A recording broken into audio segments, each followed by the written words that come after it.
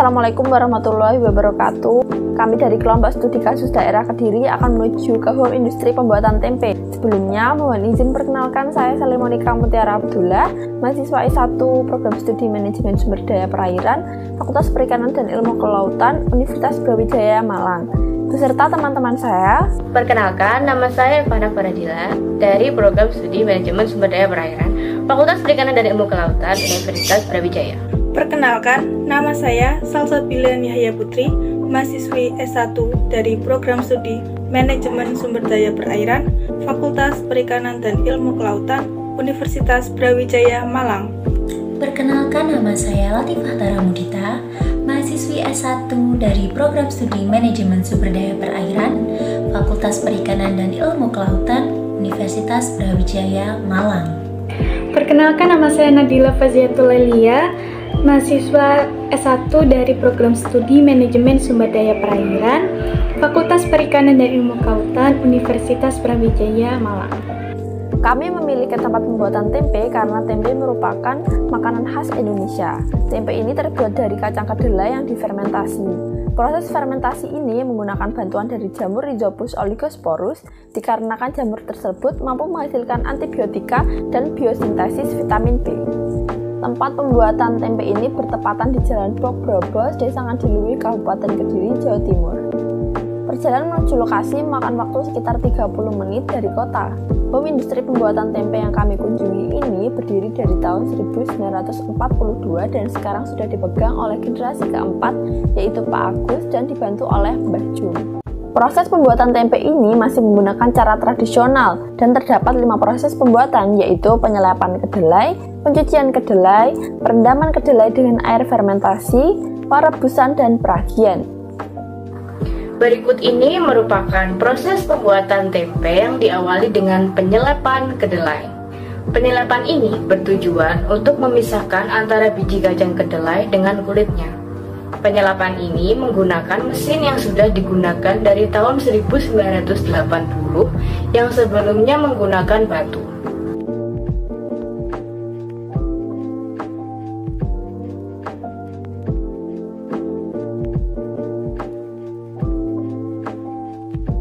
Setelah proses penyelapan, langkah selanjutnya adalah pencucian kacang kedelai.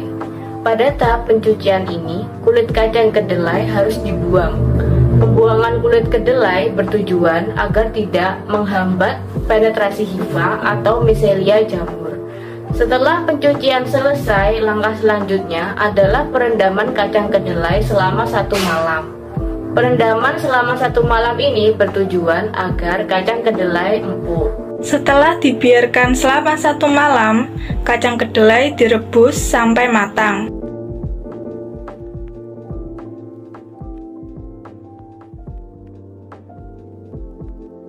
Selanjutnya, kedelai ditiriskan dan diberi air fermentasi atau air ragi. Pemberian air fermentasi ini memiliki tujuan agar kacang kedelai terhindar dari bakteri-bakteri kontaminan. Apabila kacang kedelai terkena bakteri-bakteri kontaminan, maka kedelai akan menjadi busuk. Salah satu bakteri kontaminan adalah yang bisa menyebabkan pembusukan pada tahap fermentasi adalah Micrococcus sp. Setelah melalui proses perendaman dengan air fermentasi, dilakukan perebusan kembali kacang kedelai. Ada pula tujuan dari perebusan kembali kacang kedelai adalah untuk membunuh bakteri-bakteri kontaminan, mengaktifkan senyawa tripsin inhibitor, dan membantu melepaskan senyawa-senyawa dalam biji kacang kedelai yang diperlukan untuk pertumbuhan jamur. Apabila sudah tercium bau kedelai, maka dapat diangkat dan didiamkan.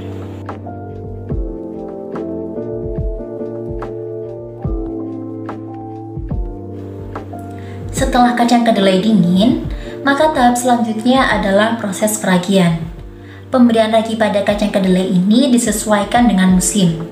Apabila musim dingin, pemberian ragi diperbanyak, sedangkan pada musim panas, pemberian ragi relatif sedikit. Setelah kacang kedelai diberi ragi sampai rata, Lalu tahap selanjutnya adalah memasukkan kacang kedelai ke dalam plastik yang sebelumnya sudah dilubangi. Menurut Pak Agus, pemilik dari usaha tempe ini, beliau mengatakan bahwa lubang pada plastik ini bertujuan sebagai sirkulasi udara yang nantinya akan membantu uh, jamur Rhizopus oligosporus dalam melakukan proses fermentasi. Beliau juga mengatakan sebelum menggunakan plastik, Beliau selalu menggunakan uh, daun pisang sebagai bungkus tempe.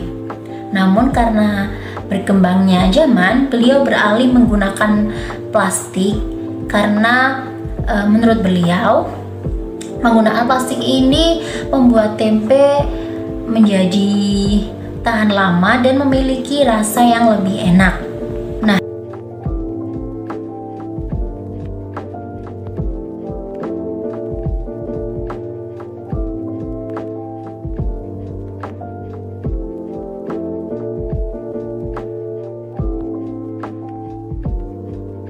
Setelah dibungkus, kedelai ditutup dengan karung dan diletakkan di suhu ruangan atau sekitar 20 derajat Celcius sampai 37 derajat Celcius dan didiamkan selama 16 sampai 36 jam.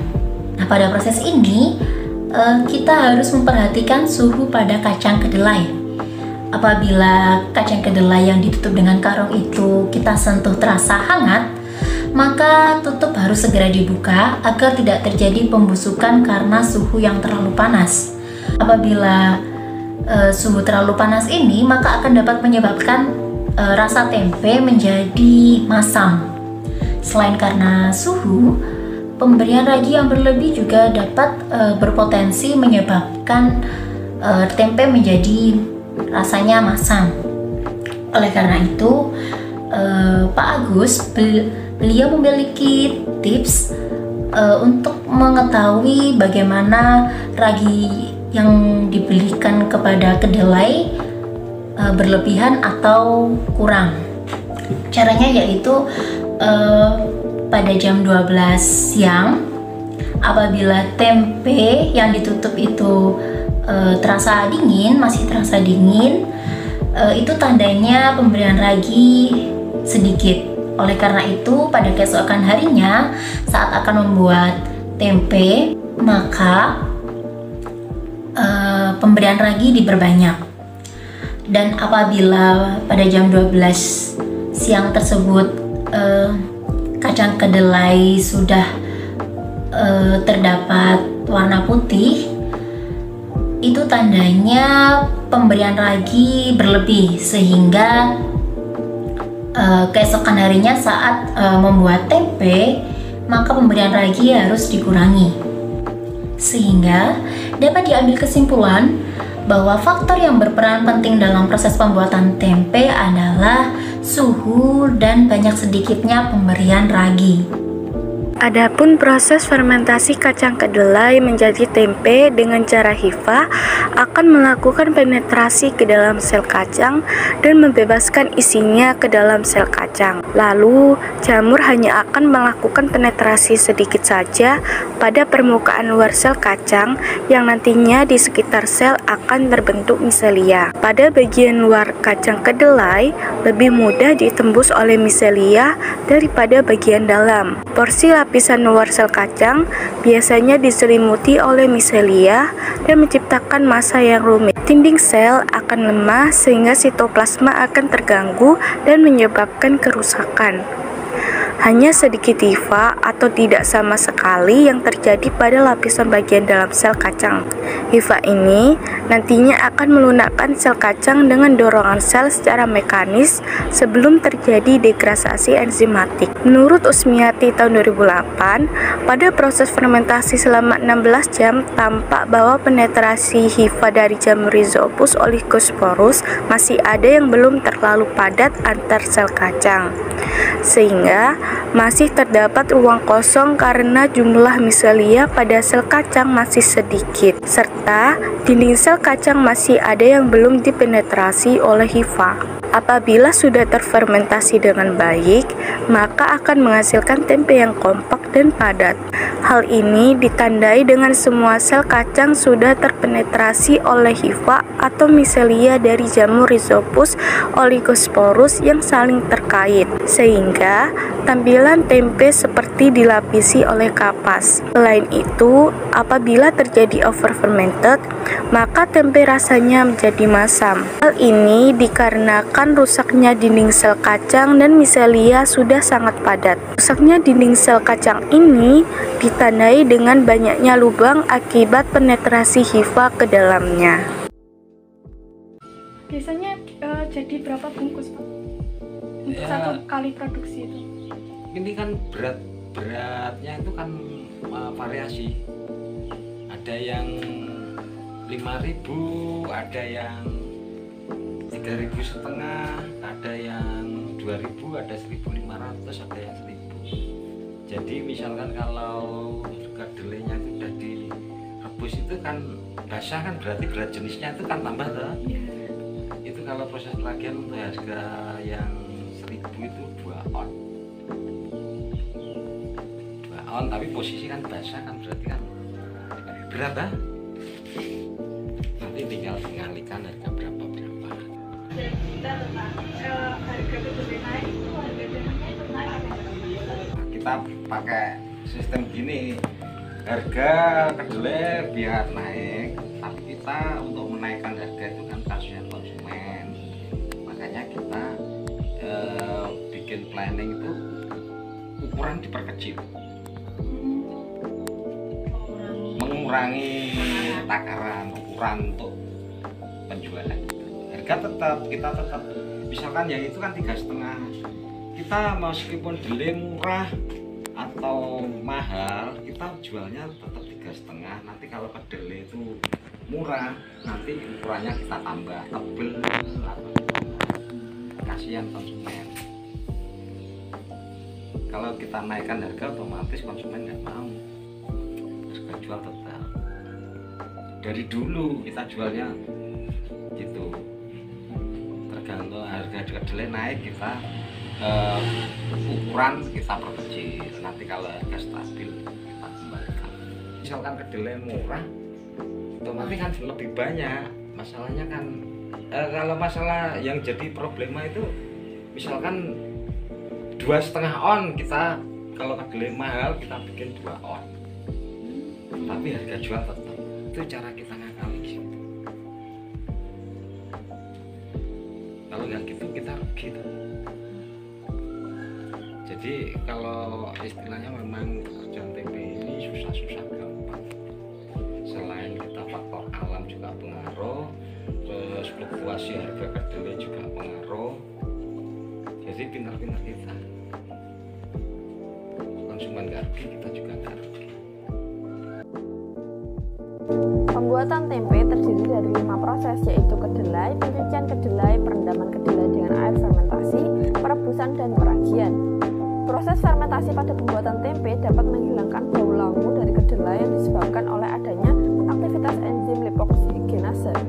Selain itu, proses fermentasi pada tempe ini melibatkan dua macam fermentasi yang berbeda, yaitu oleh bakteri dan jamur yang menghasilkan pertumbuhan hifa atau micelia pada kotiledon kedelai. Pada pembuatan tempe, biasanya menggunakan jamur Rhizopus oligosporus dikarenakan jamur tersebut mampu menghasilkan antibiotika dan biosintesis vitamin B yang didapat dari mengkonsumsi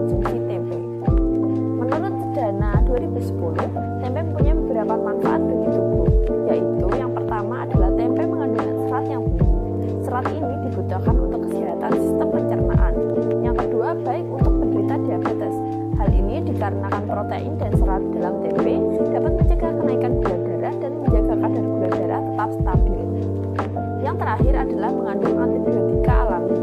Jamur rhizopus dapat memproduksi zat antibiotika alami yang bisa menjadi obat untuk disentri apabila dikonsumsi setiap hari. Yang keempat, bagus untuk pola makan rendah garam. Tempe mengandung garam yang rendah sehingga aman dikonsumsi untuk orang yang ingin mengurangi garam. Yang kelima, mudah dicerna. Karena proses fermentasi pada tempe mengurangi oligosakarida yang membuat kacang kedelai susah dicerna dan tidak membuat kembung. Sebelum membuat tempe, Kedelai diselap dengan mesin lalu dicuci dan membuang kulit kedelai. Pembuangan kulit kedelai ini bertujuan agar tidak menghambat penetrasi hifa atau miselia jamur Rhizopus oligosporus. Selain itu, pengelupasan kulit dapat menyebabkan hifa atau miselia jamur dapat mencapai lapisan nutrisi bagian dalam kacang kedelai. Setelah pencucian kulit kedelai, langkah selanjutnya adalah perendaman kedelai selama satu malam dengan tujuan agar kedelai cepat Lalu, dalam pembuatan tempe harus terhindar dari kontaminasi bakteri karena dapat menghambat pertumbuhan jamur Rhizopus oligosporus. Cara agar kacang kedelai tidak terkontaminasi yaitu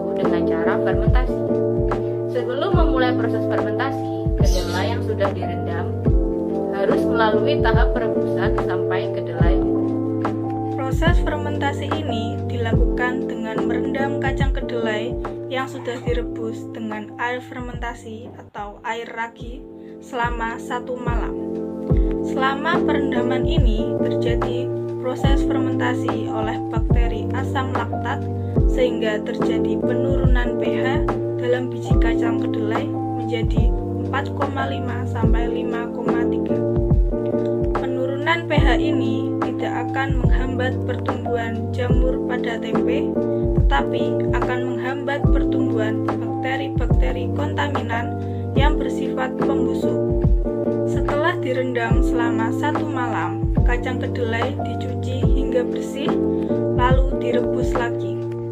Rebusan ini bertujuan untuk membunuh bakteri-bakteri kontaminan, mengaktifkan senyawa tripsin inhibitor, dan membantu melepaskan senyawa-senyawa dalam biji kacang kedelai yang diperlukan untuk pertumbuhan jamur. Setelah kacang kedelai matang, dibiarkan sampai kering sekitar 2 jam lalu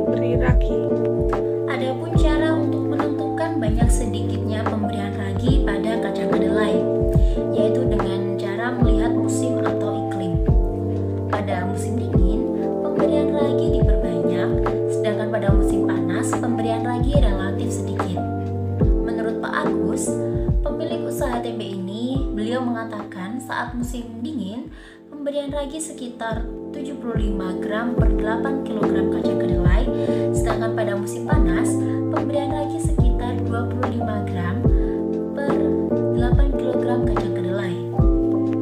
Eh, setelah proses peragian ini, selanjutnya adalah memasukkan kacang kedelai ke dalam yang sudah dilubangi. Tujuan dari adanya lubang pada plastik ini adalah untuk sirkulasi udara yang nantinya akan proses fermentasi. Setelah membungkus e, kacang kedelai ke dalam plastik, selanjutnya adalah menunggu proses fermentasi oleh jamur Rhizopus oligosporus. Proses fermentasi ini dilakukan pada suhu ruangan atau sekitar 20 derajat Celcius sampai 37 derajat Celcius selama 16 sampai 36 jam. Pada proses fermentasi ini harus memperhatikan suhu pada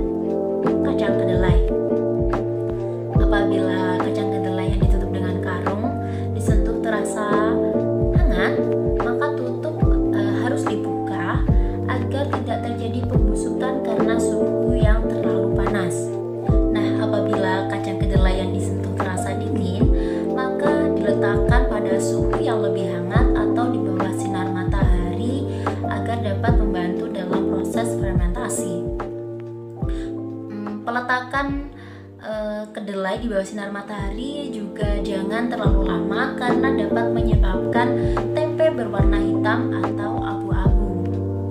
Selain itu, apabila suhu yang terlalu panas maka akan menyebabkan rasa tempe menjadi masam. Dan Selain karena suhu, pemberian ragi yang terlalu banyak juga dapat menyebabkan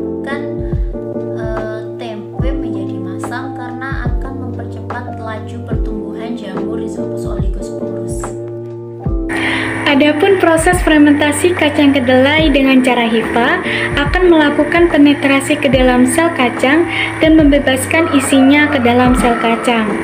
Lalu, jamur hanya akan melakukan penetrasi sedikit saja pada permukaan luar sel kacang yang nantinya di sekitar sel akan terbentuk miselia.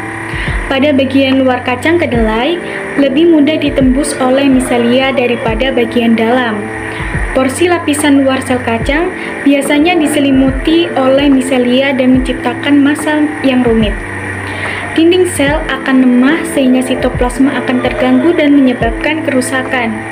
Hanya sedikit hifa atau tidak sama sekali yang terjadi pada lapisan bagian dalam sel kacang. Hifa ini nantinya akan melunakkan sel kacang dengan dorongan sel secara mekanis sebelum terjadi degradasi enzimatik. Pada proses fermentasi selama 16 jam, tampak bahwa penetrasi hifa dari jamur Rhizopus oligosporus masih ada yang belum terlalu padat antar sel kacang. Sehingga masih terdapat ruang kosong karena jumlah miselia pada sel kacang masih sedikit serta dinding sel kacang masih ada yang belum dipenetrasi oleh hifa. Apabila sudah terfermentasi dengan baik, maka akan menghasilkan tempe yang kompak dan padat. Hal ini ditandai dengan semua sel kacang sudah terpenetrasi oleh hifa atau miselia dari jamur Rhizopus oligosporus yang saling terkait, sehingga tampilan tempe seperti dilapisi oleh kapas. Selain itu, apabila terjadi overfermented, maka tempe rasanya menjadi masam. Hal ini dikarenakan rusaknya dinding sel kacang dan miselia sudah sangat padat. Rusaknya dinding sel kacang ini ditandai dengan banyaknya lubang akibat penetrasi hifa ke dalamnya. Sekian penjelasan video dari kami tentang pembuatan tempe. Bila ada yang perlu ditanyakan, bisa disampaikan secara langsung maupun lewat kolom chat. Terima kasih atas perhatiannya. Wassalamualaikum warahmatullahi wabarakatuh. happiness.